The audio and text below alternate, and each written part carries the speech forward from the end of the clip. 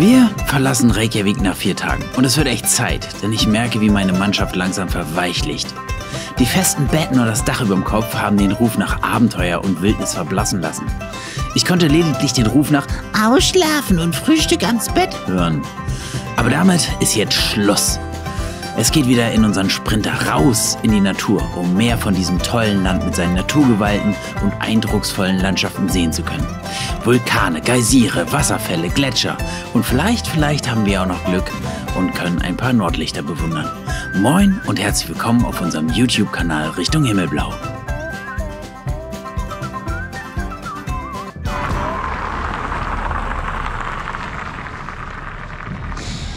Moin und herzlich willkommen auf unserem YouTube-Kanal Richtung Himmelblau. Wir sind jetzt von Reykjavik ein bisschen weiter, ungefähr 40 Minuten mit dem Auto Richtung Osten gefahren in den Nationalpark. Und ja, Nationalpark, ne? Also wenn man sich mal so dahin dreht, rammelvolle Parkplätze, für die man auch zahlen muss. Aber mal gucken, was dieser Nationalpark hier für uns zu bieten hat. Hier gibt es auf jeden Fall ein Informationszentrum und wir gucken uns jetzt mal das Informationszentrum an, damit wir anschließend auch wissen, was wir uns da draußen angucken. Wir sind im Herzen von Island gelandet. So steht es hier zumindest. So, hier treffen halt die Kontinentalplatten aufeinander. Und hier haben sich damals die Wikinger einmal im Jahr versammelt. Hier ist der grobe Konflikt zwischen West und Ost. Hä? Europa und USA, hier treffen sie aufeinander. Hier sind die geballten Kräfte, die gegeneinander schieben. Und hier merkt man wirklich, da ist Konfliktpotenzial. Ich glaube, Marco schreibt heute neu die Geschichte.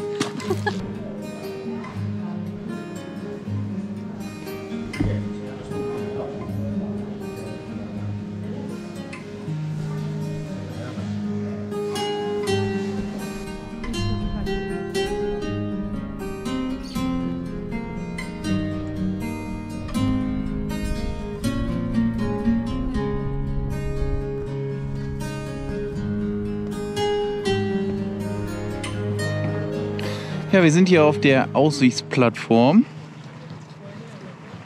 Ach ja. Und von hier kann man in diesen Nationalpark reinschauen und man kann hier auch überall rumlaufen. Wenn ihr mal genau hinguckt, dann seht ihr da unten auch Parkplätze und Leute rumlaufen. Denn hier sind so ein paar Besonderheiten. Also hier gibt es nicht nur einen Wasserfall und einen großen Fluss und auch ähm, hier Schluchten und die Erdplatten stoßen aufeinander, sondern auch noch als Besonderheit, dass die Frauen hier nie das Sagen hatten. Und das äh, ist schon, Das willst du dir jetzt mal genauer angucken, ne? genau, das will ich mir mal genauer Schön, angucken. wie es früher war. Wo so? Verstehst du? Hier hatten Frauen schon früher nicht das Sagen. Das wollen wir uns jetzt mal genauer angucken. Denn hier ist das erste Parlament der Wikinger gewesen. Damals hat man noch gar nicht daran gedacht. Da dachte man noch, wo man am besten zupacken muss, damit man die Frauen an den Haaren in die Höhlen ziehen kann. Hier haben sie schon drüber gesprochen, ob es überhaupt richtig wäre. War doch so, oder? Ja, aber jetzt gucken wir uns nur noch die Reste an. So, jetzt gucken wir uns die Und du Reste darfst an. noch mal in Erinnerung dann in den alten Zeiten schwelgen. Sehr gut.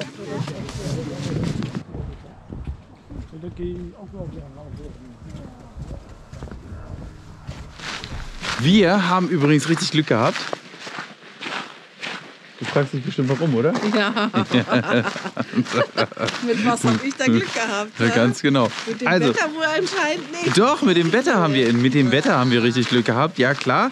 Also wir wussten, es ist ja eine Jahreszeit, bei der es hier primär regnen soll. Also tut es auch. Aber wir haben richtig Glück gehabt, denn es ist angenehm warm, auch wenn man uns das jetzt hier nicht ansieht. Ne? Aber ich wir die Jacke auf. ja, stimmt. Doch, dir sieht man es an. Ja. Angenehm warm, denn wir haben jetzt mittlerweile so um die 7 Grad. Und ich hatte ja schon Schlimmes gedacht, als wir äh, mit der Fähre angekommen sind und da über diese Schneegletscher gefahren sind mit dem Auto. Da dachte ich noch, schon, Oder noch besser, wo Leute und ich später einen Schneemann gebaut haben. ja, Ihr erinnert euch. das stimmt. Ey, da dachte ich schon, ach du Scheiße, äh, das kann ja echt was werden. Das äh, wird katastrophal enden. Die Standheizung wird gar nicht mehr gegen die Kälte anheizen können, aber es ist gar nicht so, sondern Nee, wir haben nicht. echt angenehme Temperaturen. Es ist äh, Kein Eis mehr auf dem kein Eis mehr und die Straßen sind auch alle grün. Also in Island heißt grün befahrbar. Hier abgewogen, oder? Ja, hofft man, da oben steht sie. Genau. Und äh, also das ist natürlich jetzt für unsere kleine Rundreise hier ziemlich, ziemlich gut. Denn ich hätte primär überhaupt keine Lust, jetzt hier die ganze Zeit immer in dieser Karte zu gucken, ob jetzt die Straßen auch befahrbar sind oder nicht. Aber äh, toi, toi, toi, dreimal auf Holz. Hoffentlich bleibt das Wetter jetzt so schön warm. Äh, Anführungszeichen Island schön warm. Denn im Winter sind hier nie mehr als 7 Grad und wir haben jetzt 7 Grad. Dafür sind im Sommer hier auch nie mehr als 10 Grad. Also ähm, das ist halt das Wetter von Island. Wobei auch da, wir haben ja auf unserer kleinen Rundreise gemerkt, dass der Klimawandel auch hier überall spürbar ist. Und auch hier in Island gab es den Jahrhundertsommer. Also es war noch nie so warm wie jetzt in diesem Sommer hier auf Island. Die hatten teilweise 25 Grad. Und das ist hier extrem ungewöhnlich. Kann ich weiter? Ja, sch- schade. Aber ich wollte euch ein bisschen an der Nase herumführen. Ist das so? Ja, Ah, wo geht's denn da jetzt hatte ich weiter? ganz schön viel Spaß. Ich habe dich zwischendurch gar nicht mehr gesehen. Wirklich? Hm. Weil du nicht mehr hingeguckt hast. Ja, stimmt, da ist eine. Ja, wie schön. Aber guckt mal, ne? man kann sich das schon super vorstellen, ne? wie die dann hier ihre Wikingerzelte überall links und rechts hatten. Die sind hier reingesegelt, haben hier angelegt, Und haben Fische Forellen geangelt. geangelt. ein paar Forellen gegrillt.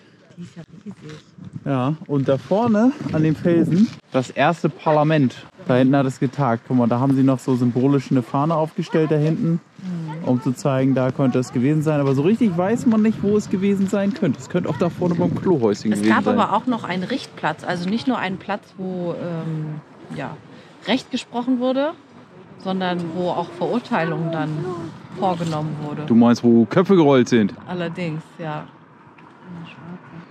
So, hier sind wir jetzt am Spalt. Guck mal, näher könnt ihr zwischen Europa und Amerika gar nicht sein. Ne? Und hier gibt es so Verrückte, die hier so durchtauchen. Äh, und wie man sieht, dieses Wasser ist hier so klar. Man kann hier sehr weit, also hier, selbst hier oben können sehr weit gucken. Und da im Wasser gibt es hübsche Münzen. Ja, da haben ganz viele Leute ganz viele Münzen reingeworfen. Weil sie gucken wollten, ob sie dann in Amerika landen oder in Europa.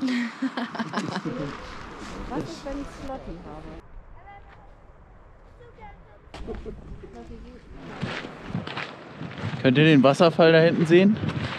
Ja? Wisst ihr, was Susi gerade gesagt hat? Was die gerade gesagt hat? Was nicht? Ja, sagt die, das ist jetzt auch nicht der schönste Wasserfall. Da kommen noch ein paar.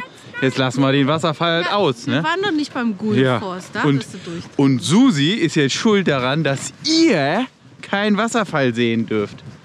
So, Ach, dürft ihr, aber nicht diesen hier. einen anderen. Den könnt ihr mal googeln und euch woanders angucken. Googelt den doch einfach mal. Ja, gibt andere Vanlifer, die hier rumfahren und, und eine. Freundin haben, die sagt, oh, Wasserfall, lass uns mal hin. naja. Wir gucken uns da jetzt aber trotzdem auch nochmal an, wo das äh, Parlament gestanden hat. Und dann setzen wir uns wieder ins Auto und fahren nämlich noch ein Stückchen weiter, denn äh, ein Stückchen weiter hier äh, Richtung Landesinnere sind ja noch diese Geysire und die wollen wir uns heute auch noch angucken. Zum Krankfinder. Wenn man ins Wasser Lachen. geht. Die lachen über uns. Ja, ja. Die sagen, ach, ja. Obwohl aus Forelle macht man gar kein Sushi, ne? Guck mal. Oder? Mal ehrlich. Hier schwimmen so viele Forellen rum. Die haben sich doch hier früher nicht getroffen, um irgendwelche Gesetze zu entscheiden. Das war ein Angelausflug für die Männer. Und die haben den Frauen nur gesagt, oh, wir müssen wichtige Gesetze machen. Kaum waren sie hier, zack, Bier, Angel reinhalten. Und dann haben die sich das hier zwei Wochen gut gehen lassen. Mann, ey. Wikinger müsste man noch sein. Ich würde auch gerne Gesetze machen. Ja? Wie Susi schon gesagt hat, zwei Wochen hier schön ganz entspannt mal ein paar Gesetze machen. Und dann kommt ja noch eine Woche An- und Abreise dazu, ne? Das ist insgesamt ja irgendwie mal so locker um und bei vier Wochen unterwegs, ne? Ja, schön. Und die Frau Ja, schön zu Hause, schön. Haushalt, Kinder. Schatzi, wir machen da mal ordentlich Gesetze. Wir hacken ein paar Köpfe ab, aber ansonsten. So schön. Wir haben dann so. Auf meinem Fluss schießen die. Ja, von hier oben sieht man den Riss ganz gut, ne? Also wo die europäische und die amerikanische Kontinentalplatte aufeinander trifft. Dort, ne? Der geht von dort hinten, da wo dieser kleine Berg ist, da sieht man den glaube ich ganz gut. Und dann geht er hier einmal so durch. Da laufen auch die Leute überall hinten lang, ne? So, da hinten, da hinten, da hinten. Und ich glaube, was man aus Film und Fernsehen kennt, ist dann da hinten, weil da kann man halt äh, schnorcheln und tauchen gehen denn da ist der engste Punkt von diesen Kontinentalplatten und da kann man, wenn man die Arme auseinanderbreitet, beide Kontinente auf einmal anfassen. Aber da gehen wir jetzt nicht hin, weil das ist da, wo dieser andere Parkplatz ist, geht es ein Stückchen weiter hoch. Da laufen auch, da sieht man hinten diese Leute. Ich weiß nicht, ob ihr das jetzt auch erkennen könnt, aber da hinten ist dieser Tauchspot, ist aber auch ein bisschen verkommerzialisiert. Da kann man seine Tauchtour oder Schnorcheltour dann halt buchen und dann geht man da mit dem Trockenanzug halt rein. Das machen wir jetzt aber nicht. Wir wollen ja zum Geysir. Richtig? Yay. Yay. Wir müssen, ihr, ihr fragt euch, warum macht ihr denn so einen Stress? Ja, Leute, hier, guck mal, es ist verhältnismäßig schönes Wetter. Die ganze Woche über soll es jetzt regnen. Also müssen wir unsere Zeit ein bisschen einteilen, denn heute sieht es eigentlich ganz gut aus. Es regnet gerade nicht und äh, wir haben noch die Befürchtung, dass wir uns die nächsten Tage höchstwahrscheinlich irgendwo ein bisschen verbarrikadieren müssen, denn es könnte sein, dass es hier verhältnismäßig viel regnen wird. Aber ha, auf diesen Wetterfrosch, da haben wir uns noch nie verlassen können. Der klettert die leider hoch und runter, hoch und runter, hoch und runter. Also das ist hier echt verrückt. Und ich hatte das Sprichwort der Isländer ja schon gesagt, ne? Die haben hier halt das Sprichwort und sagen, wenn du das Wetter nicht magst, ne? Wartest halt 10 Minuten. So, wir laufen jetzt hier gerade den Ziegenpfad lang. Ziegenpfad, also das war hier früher unter den Wikingern als äh, Ziegenpfad bekannt. Teil des Festivalgeländes, kann man so sagen. Kann man wirklich sagen. Damals, als die Bevölkerung ca. 40.000 Leute waren hier in Island, da sind hier 10% der Bevölkerung, also 4.000 Leute mit hergekommen. Und ich habe mich gefragt, ey, warum denn so viele? Ey, wer waren das? Das waren jetzt nicht nur die, ähm, äh, sag mal, die, Die- Sta- die Stammesleute, Ja, kann man so sagen. die- ne? ja, die- Nee, sondern die haben auch noch ihre Bauern mitgebracht als, als Unterstützer für die Sache, die sie hier vertreten wollten. Die haben dann sozusagen den Bauern ja, bestimmt, äh, du, du und du, ihr müsst jetzt mitkommen. Und dann mussten die mitkommen. Genau. Und dann waren wir auf einmal 4000 Leute hier. Ja, genau. Und 4000 Leute, die wollten natürlich auch ein bisschen verköstigt werden. Und hier in dieser Schlucht hatten sie links und rechts hier ihre Zelte stehen. Und man spricht davon, dass sie hier sogar Bier gebraut haben, also vor Ort, weil 4000 Leute, die haben bestimmt eine Menge gesoffen. Und ja, genau, hier in diesem Gang ist es halt wunderschön windgeschützt, aber hier kann man sich ganz gut vorstellen, hier standen halt diese ganzen kleinen Marktstände. Ähm, und lustigerweise in den Gesetzesbüchern, ne, da steht drin, hier gab es Waffenschmieden und Gerbereien. Und ähm, in äh, Volksmund wusste man, ja, ja, hier waren die ganzen Fressbuden und hier wurde gesoffen. Es ist halt echt äh, sehr lustig. Naja. Genau.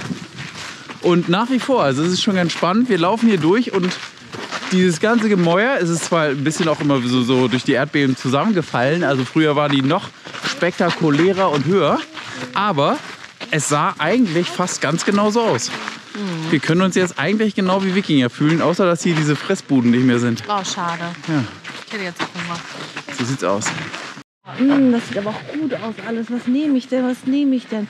Entschuldigung, ist das vegan? Ja? Und ist das Mehl eigentlich auch glutenfrei?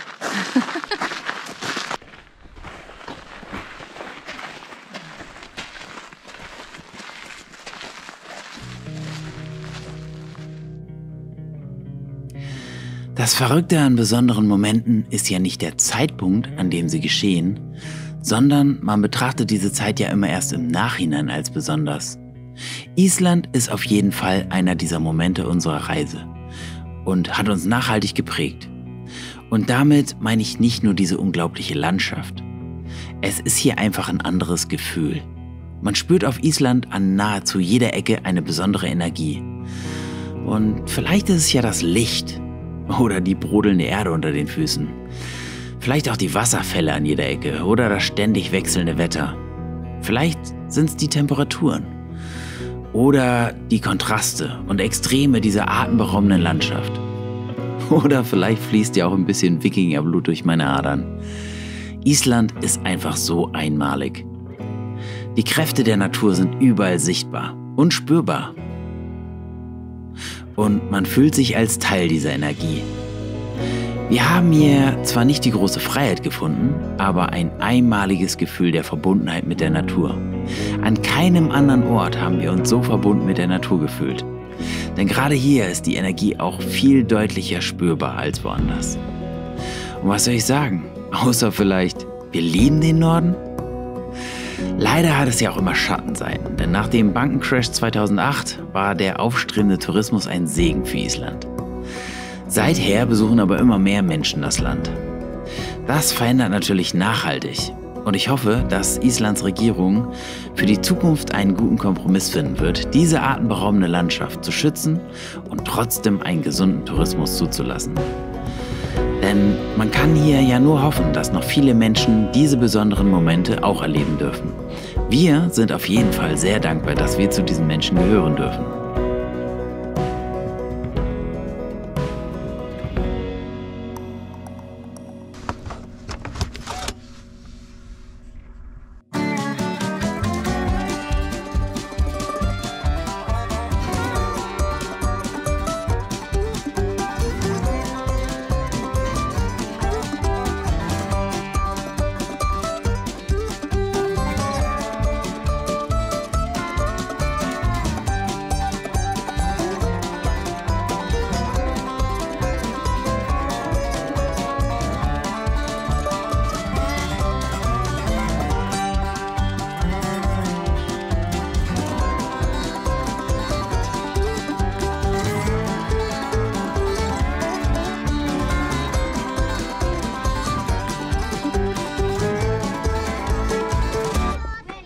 Wir sind mit unserem Sprinter weiter Richtung Osten auf dem Goldenen Zirkel unterwegs und am Haukadalur Geothermal Valley angekommen.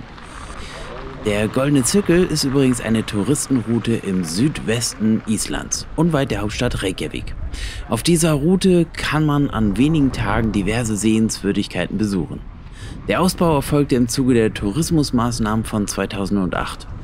Seitdem ist hier alles sehr gut organisiert. Früher fuhr hier nicht mal ein Bus in die Gegend. Heute gibt es zahlreiche Großraumparkplätze, Outlet-Stores, Lodges, Souvenirläden, Hotels und der Bus fährt hier mehrmals am Tag von Reykjavik in die Gegend. Übrigens könnt ihr erahnen, wo es die meisten Geysire auf der Welt gibt? Na? Richtig! Über 300 aktive Geysire, etwa die Hälfte von allen weltweit existierenden, befinden sich im Yellowstone Nationalpark? In Island, dem Land der Geysire, gibt es lediglich zwei nennenswerte Geysire. Den großen Geysir und den Strokkur. Dabei ist der große Geysir schon seit einigen Jahren nicht mehr aktiv. Direkt daneben befindet sich zum Glück der zweite Geysir. Der Strokkur ist der aktivste Geysir in Island und bricht auf natürlichem Wege alle vier bis zehn Minuten aus und erreicht dabei eine Höhe von 15 bis 20 Metern. Oh mein Gott, oh mein Gott, das war echt krass. Ich sah wieder von 10 und ich habe mich ein bisschen erschrocken. Aber trotzdem war es noch sehr aufregend, denn man wusste nicht, wann es kommt und so. Und ich fand es echt richtig cool. Also ich finde es der Hammer.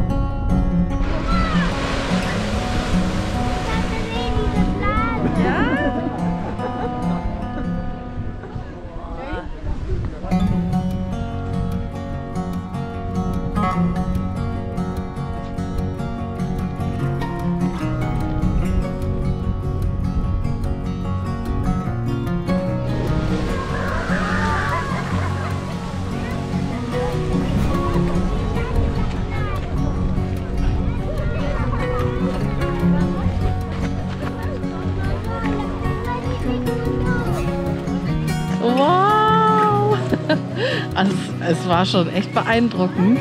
Und wenn es dann, dann siehst du, wie so eine Blase kommt es hoch und dann schießt die Fontäne hoch. Also das ist schon sehr cool, mal live zu sehen.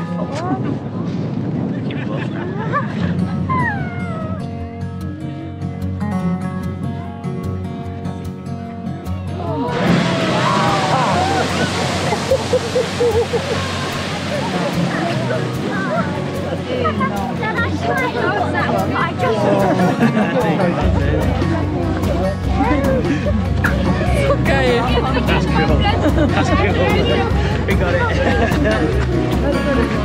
Oh mein Gott. Und wie das da wieder reinläuft, ne? Einmal, den, einmal das Bad ausgekippt und dann. Das sieht so ein bisschen aus, als wenn da so ein Monster von unten kommt und so irgendwie aus dem Loch rausguckt und dann plötzlich.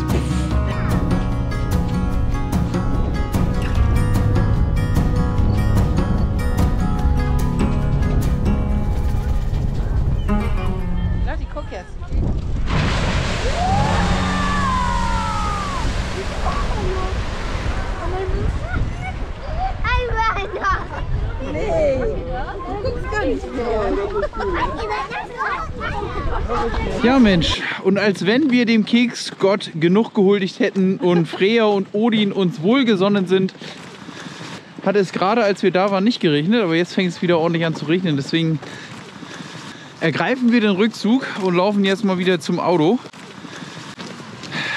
Es ist sehr spannend und äh, auch hier wieder so ein bisschen eine kleine Geruchswelt. Denn jedes Mal, wenn der Geysir halt ähm, dann da seine äh, Freude nach oben versprüht, riecht es hier auch extrem nach Schwefel. Und man sieht hier, wir laufen hier jetzt auch gerade an so einem kleinen Schwefelfeld vorbei. Also auch hier sprudelt es ordentlich. Die Erde kocht und das Wasser da drüber auch. So, wie ihr seht, es regnet. Wir fahren weiter. Äh, erstmal wieder Richtung der 1.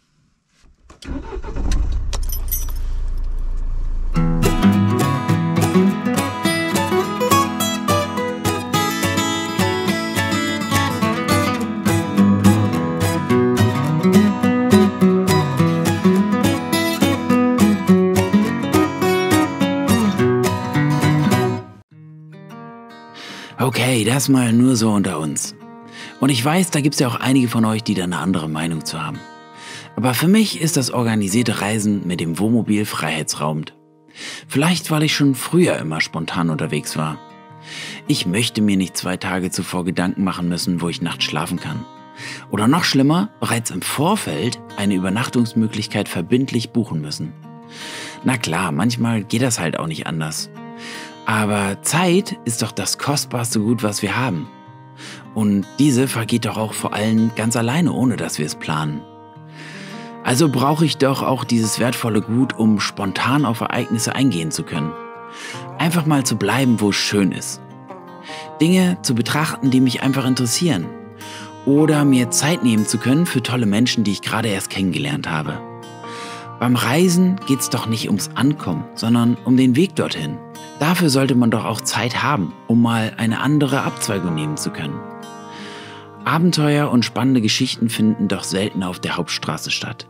Diese sind doch meistens links und rechts der Straße zu finden. Ich möchte meine Augen und Ohren offen halten können und versuchen, besondere Momente im Leben schon vorzeitig zu erkennen, zu genießen und diesen auch eine Chance zu geben. Das Ziel ist doch meistens klar, aber der Weg dorthin muss doch nicht immer vorgegeben sein. Und so entstehen doch genau diese besonderen Momente, die uns im Nachhinein für so wichtig erscheinen.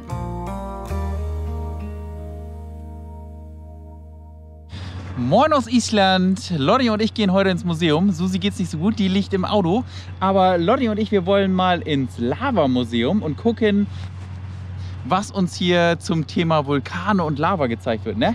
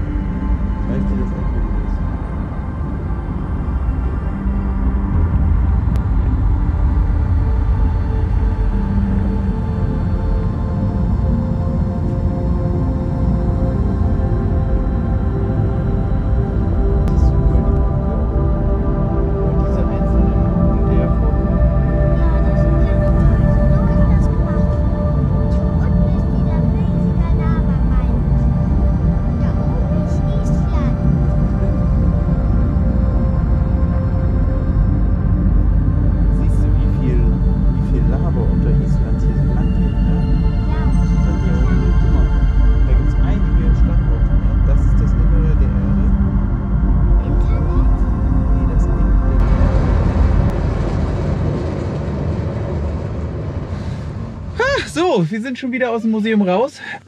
Wir sind fast genauso schnell wie diese beiden Reisegruppen, die mit uns da durch das Museum durch sind. Irgendwie zwei Busse mit Amerikanern. Und ja, das Museum, wie fandest du das? Sehr schön, aber ein bisschen. Aber ich hätte es mir abenteuerlicher vorgestellt. Da ich hatte immer Angst, dass dann irgendwo so ein Lavamonster kommt, aber da kam keins. Und du hast gehofft, dass da ein Lavamonster kommt. Ja, ich hoffe. ja, genau. Also die ganze Ausstellung war sehr multimedial. So, guck mal Leute, da fährt der erste Reisebus schon weg. Und wir waren ein bisschen schneller als die Reisegruppe, die da mit dem Bus gerade weggefahren ist. Und sind jetzt mit dem Museum fertig. Ja, Museum hat für mich jetzt knapp 25 Euro gekostet. Audi musste nicht zahlen, das war schon mal sehr, sehr gut. Ähm, das Ding startete mit einem sehr eindrucksvollen Film. Sehr lauter Film, ne, Lotti? ja, sehr richtig laut. Denn die haben natürlich auch so ein bisschen da die Vulkanausbrüche nachgestellt und Erdbeben und so weiter und so fort. Und dann ist man durch drei relativ aufwendig inszenierte und äh, auch interaktive Räume durchgegangen, um das Thema Lava und äh, Vulkane besser zu verstehen. Ich fand, das war ganz gut umgesetzt. Man ist aber auch verhältnismäßig schnell durch. Apropos schnell durch, wir fahren jetzt nämlich weiter Was denn? und gucken erstmal, was Lotti für einen Quatsch macht.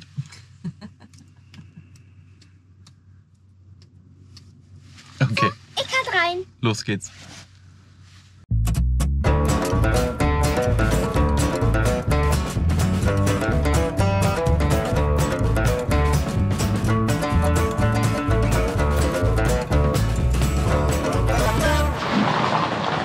Ja, Lotti und ich haben sowohl Glück als auch Pech. Denn es regnet. Aber dafür gab es hier Donuts. Und zwar bevor sie da schon zum Wasserfall gelaufen sind. Das stimmt. Wir sind jetzt nämlich beim Wasserfall angekommen. Mhm.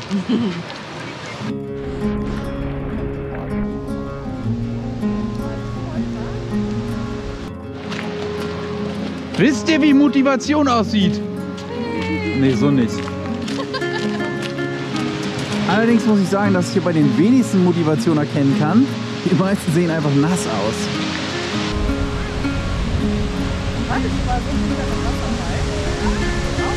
Oh Mann, oh Mann, oh Mann, das ist eine feuchte Nummer hier doch. Jetzt schon? Noch. Ja, beides. Äh, die ist schon los. Die, ist, äh, die sucht den Schatz hinter dem Wasserfall, weil irgendwer hat nämlich diese Sage in die Welt gerufen, dass es hinter dem Wasserfall einen Schatz geben soll. Und jetzt äh, will Lotti unbedingt suchen, ob der da wirklich liegt. Oh, ist das hier nass, Alter! Das ist jetzt, äh, das ist jetzt Hamburger Wetter, ne? Seite, Seitenwind und äh, Regen doch. So richtig Hamburger Schmuddelwetter, sag ich euch. Ne? Man kann auch gar nicht filmen, ohne dass die Linse nicht sofort nass ist. Doch.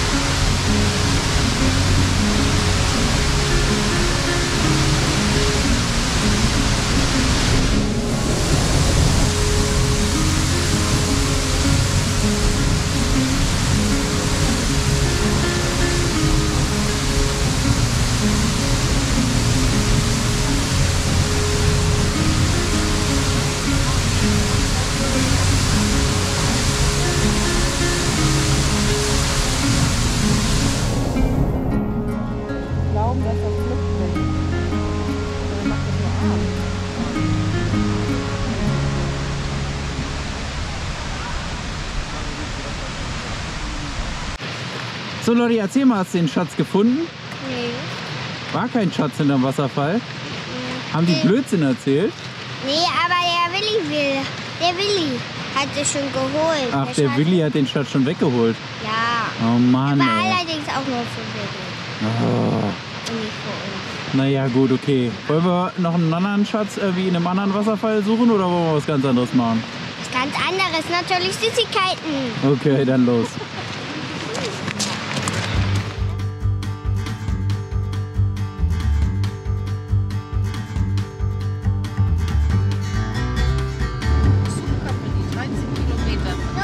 Ist eine elendige Suppe da draußen. Es ist am Schütten ohne Ende.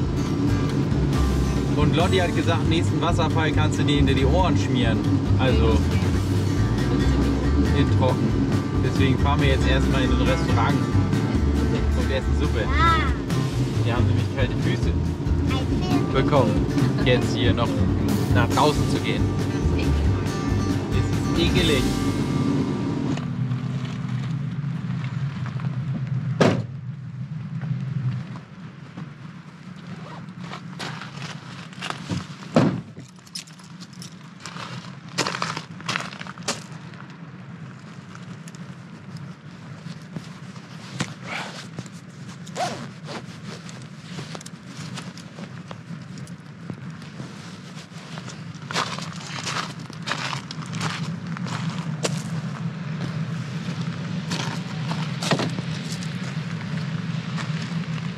Was Schatz?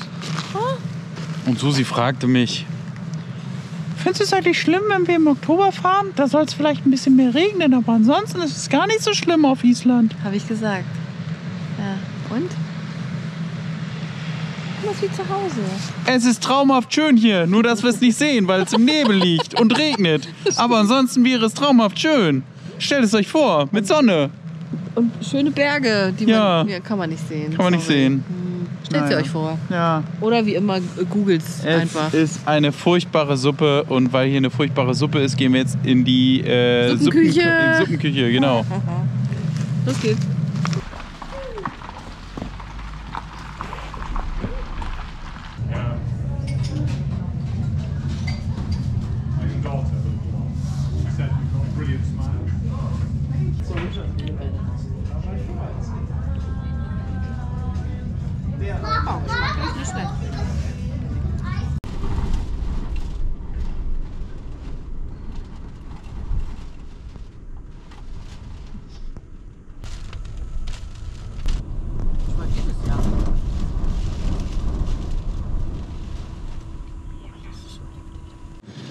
Wir sind jetzt leider hier in eine Wetterfront geraten und mussten uns mal richtig derbe Windschatten suchen. Wenn ihr mal guckt, wir stehen hier mit vielen Campern